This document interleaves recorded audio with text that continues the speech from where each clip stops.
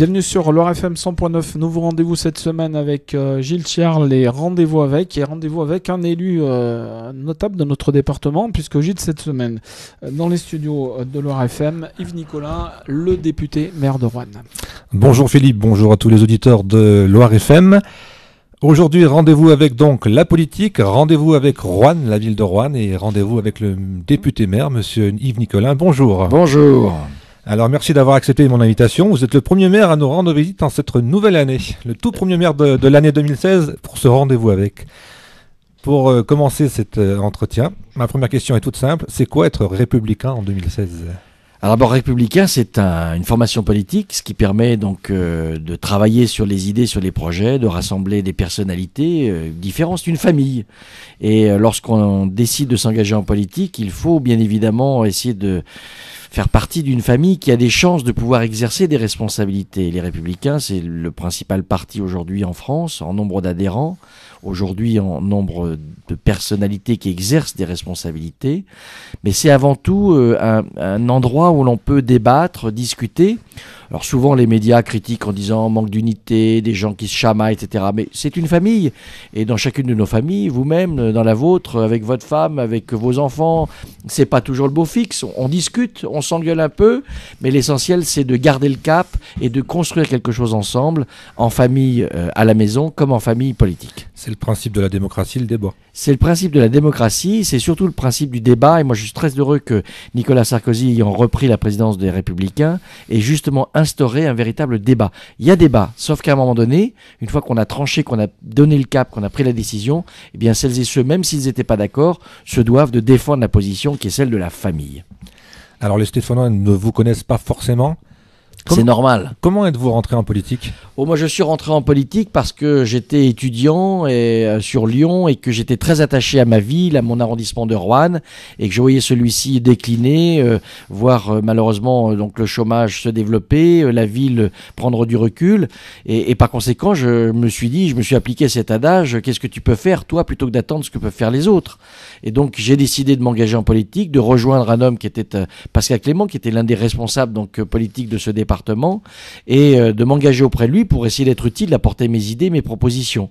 Et puis de fil en aiguille, eh bien, on milite, euh, on, aide à des campagnes électorales et puis un, jour, on se pose la question est-ce que moi-même je pourrais pas exercer des responsabilités et, par conséquent être candidat? Puis c'est comme ça, eh bien qu'en menant campagne et en arrivant à convaincre des électeurs, on se retrouve à exercer des responsabilités et donc à être élu. En ce début d'année 2016, on va faire un petit retour sur les élections régionales. Comment avez-vous vécu cette campagne qui vient de s'achever? Ah, J'ai trouvé que c'était une campagne très intéressante parce que euh, nous avons vraiment parlé des projets de la région Rhône-Alpes-Auvergne et puis c'est une campagne particulièrement euh, ambitieuse parce que euh, on, rentre dans un nouveau système. Nous avions avant une région Rhône-Alpes, nous avions de l'autre côté donc une région euh, auvergnate. Euh, nous, dans le département de la Loire, nous, étions aux confins euh, de l'un et de l'autre, de l'une et de l'autre. Et par conséquent, d'avoir désormais cette grande région Rhône-Alpes-Auvergne, eh bien, nous permet d'être pour le département de la Loire au cœur de ce dispositif. Et je pense que nous allons compter davantage et obtenir davantage donc de la région. La région, c'est aussi un formidable outil pour financer des investissements. On parle ici dans le Stéphanois de la 45, on parle dans le nord du département de, la ligne TGV POC. Nous avons aussi des investissements structurants qui permettent à nos populations eh bien, d'avoir de meilleurs outils pour pouvoir vivre tout simplement. Et la région va nous aider à cela. Elle a des compétences dans le domaine économique, dans le domaine de la formation, de l'enseignement supérieur, des lycées. Nous avons besoin de moderniser nos équipements. Et donc, moi, j'étais très heureux de voir que nous avions un homme, en l'occurrence Laurent Vauquier, qui avait décidé de prendre à bras le cœur, à bras le corps, pardon, donc euh, cette campagne et avec des projets qui nous correspondent vraiment. Maintenant, nous allons l'aider, une fois qu'il est désormais installé donc à la tête de cet exécutif régional, l'aider à faire en sorte et eh bien, que la région puisse vraiment apporter son soutien à notre département et en particulier aux Stéphanois comme aux Rouennais.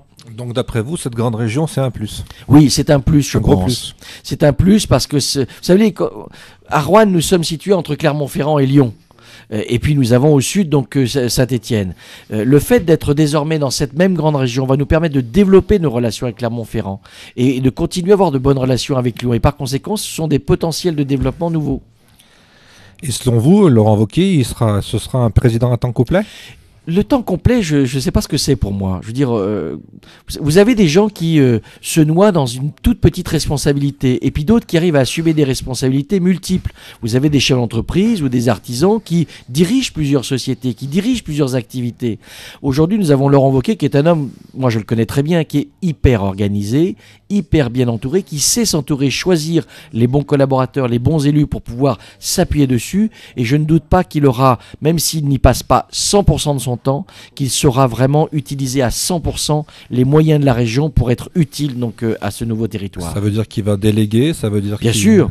Moi je le vois par exemple, je suis euh, député, je suis maire d'une ville, je préside l'agglomération de Rouen qui compte quand même plus de 100 000 habitants, mais j'ai un principe qui est une forte délégation que je donne à mes adjoints. C'est que je ne suis pas là pour faire à la place des autres. Et encore récemment, j'ai un président d'association qui m'a dit j'ai pas pu obtenir une subvention auprès de votre adjointe à la culture, je vais venir vous voir. Je dis non, ça ne sert à rien. Je ne vais pas moi en tant qu'adjoint déjuger l'adjointe, euh, en tant que maire, pardon, déjuger l'adjointe qui a pris une responsabilité, qui a pris une décision. Moi, je suis en tant que président de, mon exécutif, comme l'est Laurent Wauquiez, un chef d'orchestre. Donc, on n'est pas là pour remplacer le premier violon ou remplacer le pianiste. On est là pour faire en sorte que le premier violon et le, le pianiste puissent jouer correctement et en phase avec l'ensemble des autres musiciens du groupe. C'est ça le rôle d'un chef d'orchestre, c'est ça le rôle d'un président de région, de département ou de ville. C'est de donner la direction donner la direction, donner les grands caps, impulser donc les grands projets, et après, il faut que les élus, trancher bien évidemment, et que les élus et les services se mettent en ordre de bataille pour pouvoir justement faire aboutir ces projets.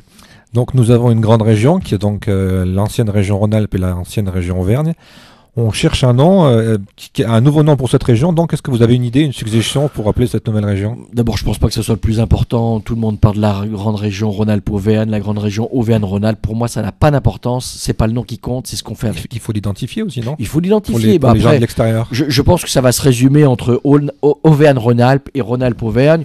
Si on fait, si on met d'abord le mot Auvergne, eh bien les Auvergnats seront flattés. Et pourquoi pas? Parce que comme c'est une population inférieure à celle de Rhône-Alpes, on peut leur faire ce petit plaisir. Si cette devait être Rhône-Alpes devant Auvergne, je crois que ça ne change pas grand-chose. On, parle d'Aura, ça vous convient? Alors moi, j'aime pas les, les acronymes, j'aime pas les sigles. Je préfère qu'on dise Auvergne-Rhône-Alpes ou Rhône-Alpes-Auvergne, mais pas avec des sigles. Très bien. Nous sommes en plein débat sur la déchéance de nationalité. Quel est votre avis à vous? Moi, je pense que la déchéance de nationalité euh, est un petit outil, mais symbolique. Nous sommes tous d'accord pour considérer que ça ne réglera pas le problème, ça n'empêchera pas des terroristes d'agir. Mais à un moment donné, nous devons aussi être sur des valeurs symboliques et dire à des gens qu'à partir du moment où ils commettent l'irréparable, qu'ils décident de tirer contre leur nation, contre leurs concitoyens, ils ne peuvent pas rester français. Et par conséquent, nous devons effectivement les déchoir de la nationalité. Après, pour toutes celles et tous ceux qui hésitent, qui disent est-ce que je vais voter, est-ce que je vais pas voter, je voudrais simplement leur rappeler que lorsque le président de la République est venu devant l'ensemble des parlementaires, toutes tendances confondues à Versailles, députés et sénateurs, tout le monde, tout le monde, sans exception, s'est levé pour applaudir le discours du président de la République, dans lequel il a annoncé la déchéance de nationalité. Moi, je ne comprendrais pas que des gens qui se lèvent pour dire nous sommes d'accord ne, ne viennent pas voter cette mesure à partir du moment où nous rentrons dans les travaux pratiques. Donc, dans la vie, il faut être cohérent. J'ai beau faire partie de l'opposition, à partir du moment où les propositions du gouvernement, du président de la République vont dans le bon sens, nous devons les appuyer. Par contre, nous devons être vigilants. C'est-à-dire que je ne souhaite pas que le président de la République s'arrête là il va proposer la déchéance de la nationalité, très bien. Mais je pense que la sécurité de nos concitoyens doit aussi euh, venir par d'autres propositions, d'autres mesures que nous attendons et que nous-mêmes nous faisons au niveau de l'opposition. Parce que j'allais vous poser la question, est-ce que c'est une mesure symbolique ou c'est une mesure qui est dans l'efficacité? C'est une mesure symbolique, mais de temps en temps, notre République, nos, nos concitoyens ont besoin aussi de symboles. Très bien. On a commencé avec les Républicains. 2016 euh, est l'année des primaires dans votre parti. Avez-vous fait votre choix? Écoutez, moi, j'ai, on a tous, je pense, euh, quelle que soit d'ailleurs euh, notre position, et il suffit pas d'être élu, euh, chaque citoyen a certainement une préférence. Pour ceux qui se ressentent partager, en tout cas, les valeurs de droite et du centre, certains vont dire je préfère Monsieur Juppé, je préfère Madame Nathalie Kosciusko-Morizet, je préfère Madame Morano, je préfère un tel nous avons tous un candidat de cœur. J'en ai un, moi il s'appelle Nicolas Sarkozy parce que je suis quelqu'un, un, de fidélité, et deux, je considère que c'est celui qui a le plus d'expérience et le plus de compétences, notamment sur le plan international, et nous sommes dans un moment où l'international joue un rôle considérable dans les difficultés que rencontre notre pays. Nous avons besoin de gens qui ont suffisamment d'expérience et de sang-froid pour pouvoir prendre les bonnes décisions pour notre pays. Ceci étant, je serai quelqu'un d'extrêmement discipliné. Nous ne pouvons plus, euh, comment dire, repartir avec un président de la République qui s'appelle François Hollande. Nous avons eu le pire président de la République que notre cinquième République n'ait jamais connu. Nous sommes dans une situation épouvantable. On nous fait la danse du ventre sur le chômage va baisser, euh, vous allez voir, je vais inverser la courbe du chômage. Tous les pays européens, je dis bien tous les pays européens, sont en train de faire baisser leur nombre de chômeurs, sauf la France. À un moment donné, je veux dire, au bout de quatre ans d'activité politique, de mesures, euh, de, propositions, quand on se rend compte que ça ne marche pas, il faut changer. Et donc nous souhaitons effectivement un véritable changement en 2017. Et par conséquent, moi, je soutiendrai celui qui sortira de la primaire, qui sortira vainqueur de la primaire, avec une seule exigence qu'il mette en application les engagements qu'il aura pris durant sa campagne électorale. Je crois que c'est ça que les Français attendent. Ils attendent que les politiques mettent en application les engagements qu'ils prennent au moment des campagnes électorales. Et moi, c'est ce que je m'applique à faire chaque jour. Je reviens sur le plus mauvais président. Vous dites que François Hollande est le plus mauvais président. On a eu M. Sarkozy juste avant, le chômage montait aussi. Ah oui, sauf que la grande différence, c'est que M. Sarkozy a été élu en 2007. Nous étions dans une période effectivement où la croissance était là. Et en 2008, nous avons eu un tsunami économique, social qui est venu des États-Unis, qui s'est appelé la crise d'abord financière des subprimes, ensuite la crise économique, la crise sociale. On a eu le plus gros tremblement de terre euh, économique et social que notre monde est connu. C'est pas français, c'est pas européen. C'était une crise mondiale très forte. Rappelez-vous, est-ce qu'on a déjà oublié la Grèce? Est-ce qu'on a déjà oublié l'Espagne? Est-ce qu'on a déjà oublié ce qui s'est passé dans tous les pays du monde, les faillites de certains États Donc, je veux dire, le président de la République Nicolas Sarkozy a eu à faire face à cela, et il a fait en sorte en prenant des décisions, et eh bien que nous soyons, nous Français, préservés. Se souvient-on que l'ensemble du système bancaire mondial était au bord de la faillite et que quand on dit, certains euh, euh, élus de gauche notamment, on dit on a sauvé, on a préféré sauver les banques, mais si on n'avait pas sauvé les banques, on n'aurait pas sauvé les économies des Français en particulier. Nous avons, euh, nous sommes un pays dans lequel il y a le plus d'épargne. Donc on a des gens qui ont des petites épargnes, peut-être 2000, 5000, 10 000 euros. Si le système bancaire s'était effondré, les gens auraient tout perdu. Bon.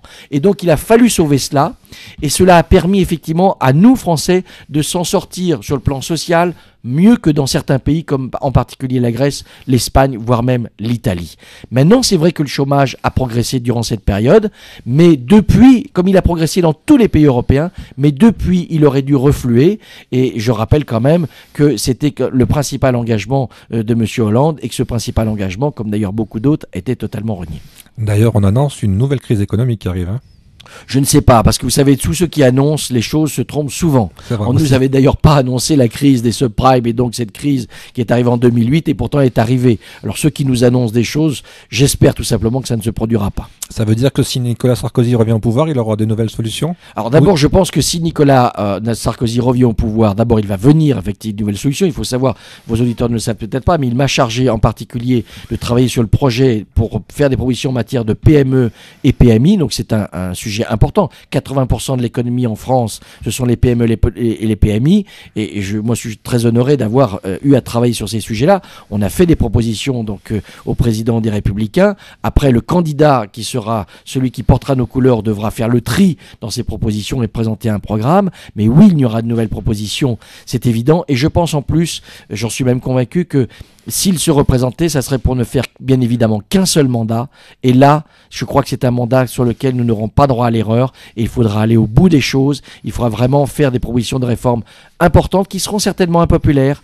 Mais sans ces réformes, je pense que c'est la dernière chance. Il faut être très clair. Si la droite et le centre reprennent le pouvoir en 2017 et qu'ils ne réussissent pas, nous aurons, je le prédis, l'extrême droite au pouvoir dans notre pays. Et donc nous devons, et nous n'avons pas le droit, euh, comment dire, de, rater cet événement-là, et nous devons être très, euh, comment dire, euh, droit dans nos bottes, comme disait à l'époque Alain Juppé, pour pouvoir mener une politique qui soit une politique vraiment de, qui rompe avec l'eau tiède que l'on a depuis ces dernières années. Ça veut dire que si vous travaillez déjà avec Nicolas Sarkozy, si M. Sarkozy est élu, vous allez peut-être être dans Oh, son vous gouvernement? savez, moi j'ai beaucoup de choses à faire. J'ai une ville à redresser, j'ai une agglomération qui est en train de s'étendre, de passer de 4, 4, 40, et- 40 communes à 81 communes. J'ai beaucoup de choses à faire. En plus, j'essaye de faire le mieux possible mon travail au Parlement. Donc moi, je, je ne tire pas des plans sur la comète, ça ne m'intéresse pas pour l'instant. Ça tombe bien, on va faire notre petite pause musicale avec euh, Charles Aznavour et Emmenez-moi et on revient dans la deuxième partie avec Juan. Vers les docks où le poids et l'ennui me courbent le dos. Ils arrivent le ventre alourdi de fruits, les bateaux. Ils viennent du bout du monde, apportant avec eux des idées vagabondes, au reflet le ciel bleu de mirage. Traînant le senteur poivre des pays inconnus, des lui presque nus, sur les plages, moi qui n'ai connu toute ma vie le ciel du nord. J'aimerais les barbouiller ce gris environ d'abord. Emmenez-moi au bout de la terre, emmenez-moi au pays des merveilles. Il me semble que la misère serait moins pénible au soleil. Dans les bars à la tombée du jour avec les marins. Quand on parle de filles et d'amour, un verre à la main. Je perds la notion des choses et sur ma pensée m'enlève et me dépose un merveilleux été sur la grève. Où je m'attends dans les bras l'amour qui comme un fou court demande à moi comme pas au de mon rêve. Quand les bars ferment, que les marins rejoignent leur bord. Moi je rêve encore jusqu'au matin, debout sur le port. Emmenez-moi au bout de la terre, emmenez-moi au pays des merveilles. Il me semble que la misère serait moins pénible au soleil. Un beau jour sur un rafio craquant de la coque au pont. Pour partir, je travaillerai la soute à charbon. Prenons la route qui mène à mes rêves d'enfant sur des îles lointaines où rien n'est important que de vivre. Où les filles alanguies vous ravissent le cœur entre sa maton ces colliers de fleurs qui enivrent. Je fuirai laissant là mon passé sans aucun remords. Sans bagage et le cœur libéré en chantant très fort.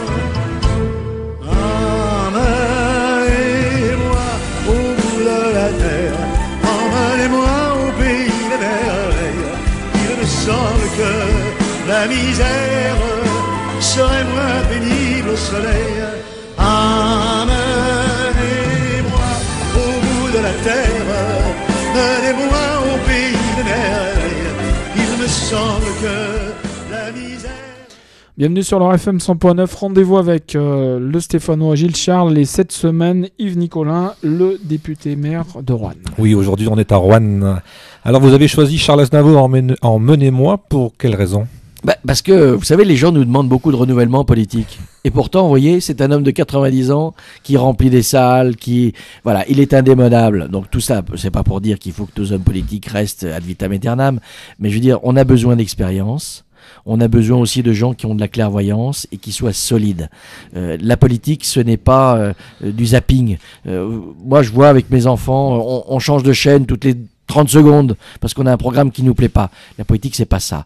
La politique, c'est pas un concours de beauté. On choisit pas celui qui nous plaît sur le moment. On essaye de choisir celui qui a le plus d'ex- d'expérience, le plus de compétences et surtout les meilleurs projets. C'est à cela qu'on doit s'atteler pour choisir un candidat à une élection le reste. Après, je dirais même que l'étiquette politique n'a pas beaucoup d'importance.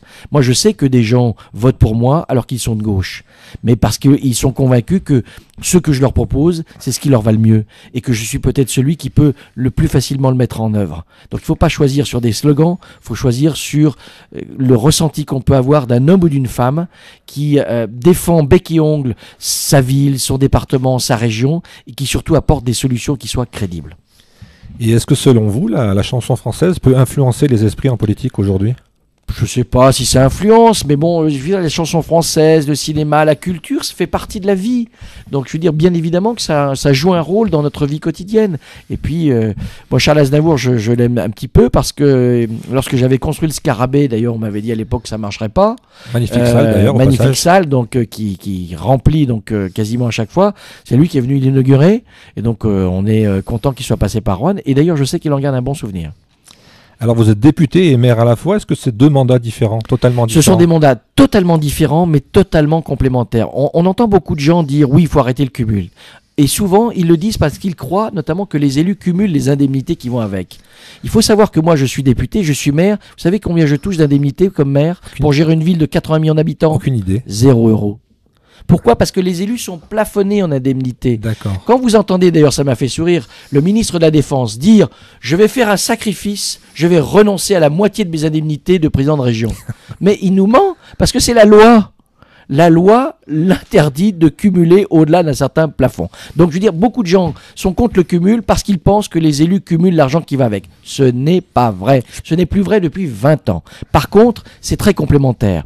Comment voulez-vous que je sois un bon législateur pour rédiger, voter des lois, par exemple, qui concernent l'urbanisme, les permis de construire, si je ne si sais pas comment ça fonctionne? En tant que maire, je sais comment ça fonctionne. Comment voulez-vous que je puisse voter des lois en matière de santé si je ne peux pas mesurer sur mon territoire, dans ma ville, les problèmes de désertification médicale Le fait d'être parlementaire et d'en même temps d'avoir un exécutif local nous permet, je pense, d'être de meilleurs parlementaires que si nous étions élus et qu'on ne nous revoit plus au bout de cinq ans sur le terrain parce qu'on serait tout le temps à Paris. Donc le cumul des mandats, ce n'est pas un gros mot, c'est quelque chose d'utile. Et en plus, ça coûte moins cher aux contribuables. Juste petite parenthèse.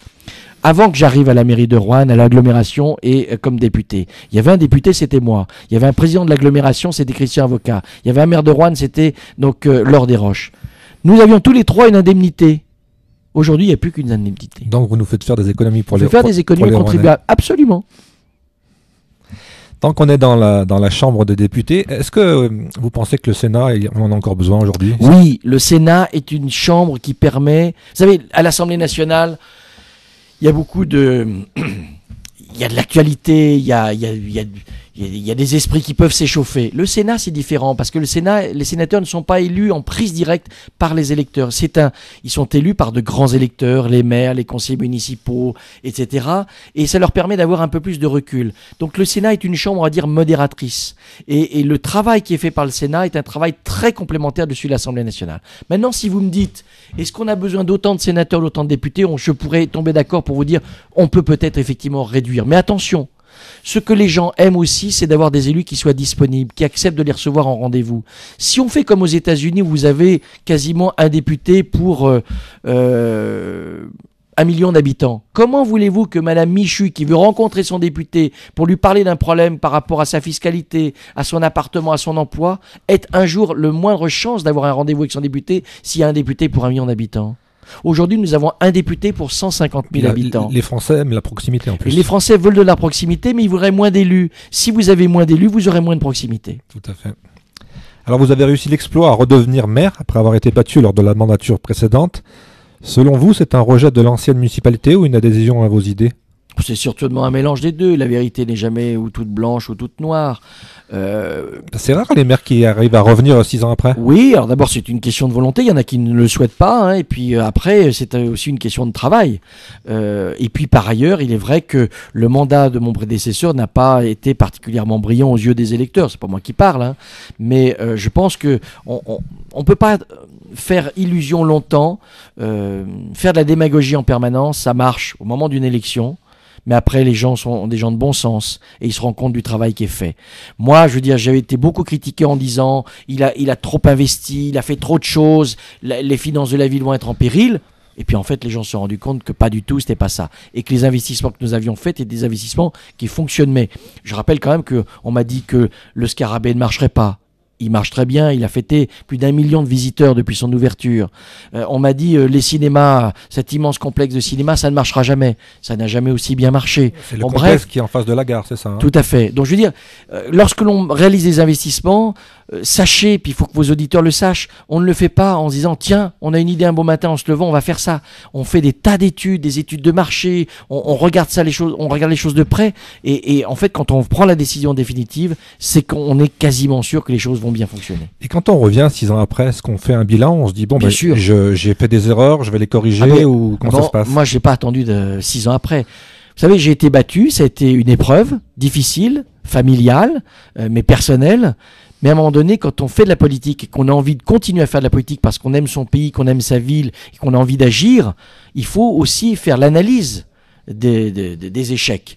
Et moi, j'ai pris six mois pour analyser pourquoi j'avais été battu, et c'est totalement de ma faute. J'ai été battu parce qu'effectivement, un, je considère que j'ai presque péché par orgueil en considérant que ce que nous avions fait devait suffire à être euh, comment dire, compris et apprécié par les Rouennais qui ne pourraient que nous réélire. Je n'ai pas fait suffisamment de terrain, je n'ai pas été suffisamment proche des gens durant cette période. Donc j'ai effectivement travaillé là-dessus et nous nous sommes mis au travail pour agir différemment et par conséquent ça a servi aussi à revenir. Vous avez battu une femme, selon vous, est-ce que c'est plus difficile de faire de la politique euh, quand on est une femme? Non, c'est fini ce temps-là. C'est fini ce temps-là? Il n'y a plus de différence aujourd'hui entre les hommes et les femmes. Je dirais même que les femmes sont même plus, euh, comment dire, euh, euh, quelquefois plus tenaces, euh, un petit peu plus violentes aussi, parce qu'elles savent que on aura nous hommes toujours une petite retenue vis-à-vis d'elles. ouais. Mais euh, non, non, on a des femmes de caractère, on le voit d'ailleurs hein, sur le plan national comme sur le plan local. Alors, vous avez fait voter une loi simplifiant les procédures d'adoption et créé l'Agence française de l'adoption. Et plus récemment, vous avez créé l'association SOS Orphelinat du Monde, qui a pour objectif d'améliorer dans leur pays d'origine le quotidien des enfants privés de famille. Vous êtes donc très sensible au sujet lié à la famille. Je suis très sensible au sujet lié à la famille, c'est un sujet qui m'a toujours beaucoup intéressé. Je suis très sensible aussi aux problèmes d'adoption parce que mon épouse et moi nous avons adopté nos trois enfants euh, en Russie, ils sont maintenant grands. hein. Notre aîné va avoir 18 ans, la- l'autre a 15 ans et le petit dernier a 11 ans. Mais euh, c'est vrai que j'ai toujours voulu euh, agir pour faciliter les démarches de celles et de ceux qui voulaient donc adopter des enfants parce qu'ils ne pouvaient pas en avoir. Bon, maintenant cette loi elle a 10 ans, fonctionne bien, elle a permis de créer l'agence de l'adoption qui fonctionne bien elle aussi. Je n'en suis plus président et maintenant j'ai pris euh, une autre activité parallèle, encore on pourrait dire le cumul, mais c'est totalement bénévole et euh, quelques heures par mois, effectivement, je me consacre à une association que j'ai créée qui s'appelle SOS Orphelinat du Monde et qui vise à recueillir des fonds pour mener des actions d'investissement dans les pays euh, qui ont notamment donc des enfants privés de famille.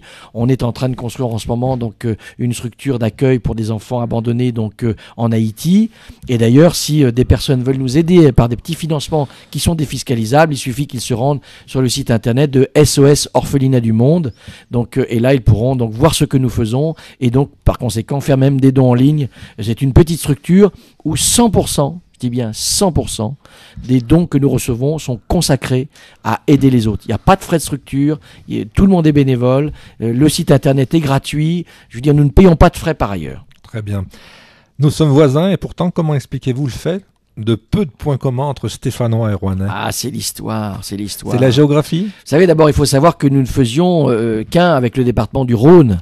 Il y avait le département du Rhône et de la Loire. C'était un seul et même département. Et comme Rouen est à équidistance, à 90 km grosso modo de Saint-Étienne comme de Lyon, eh bien, les Rouennais, et notamment euh, à cause donc d'une aussi euh, un transit, on va dire économique, naturel, lié au textile, où, où le, le Rouennais était très textile et le Lyonnais était très textile, le Rouennais a plus effectivement de penchant en direction de Lyon. Mais bon, euh, je crois que il y a aussi des échanges qui se font et bien évidemment, moi je viens quand même. La preuve, je suis là ce matin, donc euh, assez régulièrement, bien évidemment à Saint-Étienne. Euh, on a peut-être plus de Rouennais qui vont dans le sud du département qu'on a de Stéphanois qui viennent dans le nord. Donc maintenant, il faut qu'on trouve les moyens de les attirer.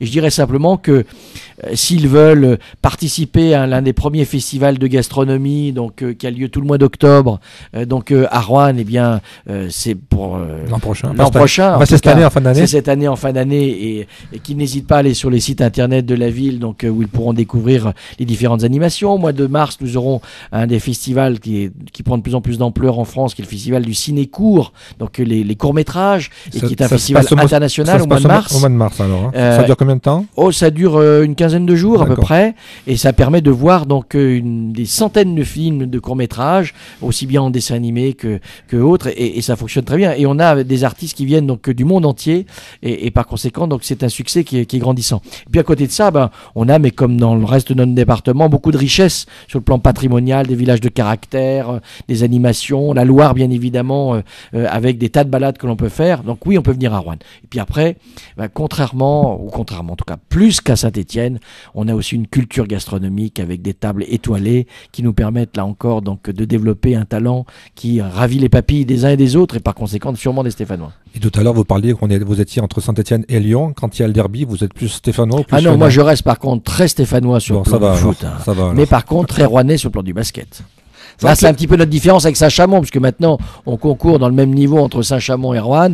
Mais bon, euh, Saint-Chamond. euh, Vous savez que la semaine prochaine, je reçois Hervé Reynaud, le maire de Saint-Chamond. Oui, alors j'aime beaucoup Hervé, mais bon, là on aura toujours un différent entre, euh, au niveau du basket, ça c'est sûr. Alors, on peut pas échapper à une question. Vous avez fait l'actualité l'automne dernier en proposant d'accueillir à Rouen des migrants catholiques. Avez-vous compris la polémique que vous avez fait naître par vos propos? Oui, et je pense qu'elle a été. Beaucoup de gens euh, en ont parlé. Oui, beaucoup. Alors ça c'est sûr, j'ai fait le buzz sur le plan national. J'ai même eu droit à des critiques du Premier ministre qui, depuis, euh, a fait marche en arrière. hein. Euh, il faut le voir. Bon, euh, vous savez, euh, euh, ce, ce problème de migration est un problème extrêmement important. Euh, lorsque j'ai annoncé que je souhaitais accueillir en priorité et plus rapidement des, des- des migrants en provenance de Syrie ou d'Irak, chrétiens, non pas forcément catholiques, c'est parce que c'était, ils faisaient partie des minorités religieuses les plus persécutées et que je souhaitais aussi préserver la sécurité de nos concitoyens. Et je sais que il sera plus compliqué donc de, faire le tri entre guillemets entre des migrants euh, qui euh, sont euh, potentiellement, et ça a été avéré, infiltrés par euh, des terroristes de Daesh. Et nous devons, nous, en tant qu'élus, être prudents pour faire en sorte de, de ne pas trop faire rentrer malheureusement le verre dans le fruit. Alors, nous enregistrons cette émission le vendredi 8 janvier. Aujourd'hui, c'est les 20 ans de la mort de François Mitterrand. J'aimerais juste que vous nous disiez euh, comment vous avez vécu cette époque. Que ce que vous reteniez de, de ce personnage? Parce que Tout à l'heure, on a parlé du président actuel. Bah, vous savez, moi, la première fois que j'ai voté, c'était le au mois de mai 1981. Moi, j'étais trop jeune, j'avais 13 ans. Voilà, et donc moi j'avais 18 ans, euh, et donc mon premier vote, ça a été ma première défaite électorale, puisque euh, donc euh, j'ai François Mitterrand était élu le 10 mai 81. Le lendemain matin, première heure, j'avais au lycée un cours, un cours d'histoire géo, et en plus, c'est assez rare, mais le prof d'histoire géo était n'était pas de gauche, donc quand Mitterrand était élu, euh, donc euh, il nous a foutu une interrogation écrite. Et ça, j'avoue que j'ai encore plus mal vécu que la défaite à l'époque. Bon, après, François Mitterrand est un homme politique qui a marqué son temps, c'est évident. Euh, J'aurais souhaité le rencontrer parce que sur le plan intellectuel, notamment littéraire, c'était un homme d'une grande culture. Maintenant, je pense aussi que c'est un homme qui, malheureusement, nous a fait entrer le Front National au sein de la vie politique française et que rien que pour ça, je ne lui tresserai pas des lauriers. Voilà, on ferme la parenthèse Mitterrand. Pour conclure, comment faire découvrir Rouen aux Stéphanois alors? Leur Mais- donner l'envie d'aller à Rouen, qui est, qui est un fort. euh, Je leur dirais tout simplement. intéressante. Alors, que d'abord, bien évidemment, sous le soleil, c'est euh, une petite référence à Aznavour, tout est plus beau, et que euh, les jours de beau temps, je les invite juste à prendre leur voiture, à faire 35-40 minutes de voiture pour rejoindre le territoire rouennais, et, et ils pourront découvrir des tas de choses. Il suffit qu'ils aillent sur le site internet de la ville, de l'office de tourisme, et ils trouveront des choses. Et puis qu'ils commencent surtout par réserver un bon restaurant. Et le matin avant et l'après-midi après, ils iront se balader. Et je pense, je suis même convaincu qu'ils reviendront plusieurs fois après parce qu'ils en auront pris goût. Alors, je ne sais pas si on a beaucoup d'auditeurs à Rouen, mais vous nous donnez une invitation, je crois, le 28 janvier. Alors j'invite effectivement euh, les Rouennais à participer à mes vœux, donc euh, qui se trouvent chaque année, donc qui se font chaque année au Scarabée. Euh, nous sommes, nous serons certainement plus de 4000 personnes avec une belle soirée spectacle, un discours politique aussi. Et une magnifique Marseillaise. Et je peux vous dire que quand vous avez 4000 personnes dans une salle telle que le Scarabée, qui en fin donc, euh, euh, de cette cérémonie se lève et entonne la Marseillaise, ça fait vibrer les murs et c'est un grand moment. Donc j'invite toutes celles et tous ceux qui souhaiteraient me rejoindre à le faire en prenant juste une petite précaution, c'est qu'ils appellent ma permanence parlementaire au 04 77 70 98 98, ils te trouveront dans l'annuaire, pour pouvoir juste s'inscrire, parce que nous devons effectivement, et notamment pour des raisons liées à la sécurité, prendre les gens uniquement ceux qui sont inscrits. Alors, je peux vous dire que moi, je serai là. Eh bien, on vous accueillera avec beaucoup de Et plaisir. puis, je vais quand même donner une petite anecdote, parce que j'en étais très fier. Je suis venu vous voir il y a deux ans pour vous interroger sur les municipales. Oui, Donc, j'étais au Scarabée pour vos vœux il y a deux ans. Il y avait un chanteur qui s'appelle Frédéric Arnaud qui a chanté. oui. Et derrière, sur le grand écran, il y avait la Miss le Stéphano à la casquette qui passait et j'étais vraiment très très fier. en tout cas, monsieur Nicolas, je suis très content de vous avoir eu au micro et euh, dans les studios de l'Or FM. Merci beaucoup d'être venu. À bientôt et donc on se donne rendez-vous le 28. Entendu, merci. Merci beaucoup, au revoir. Merci de votre invitation.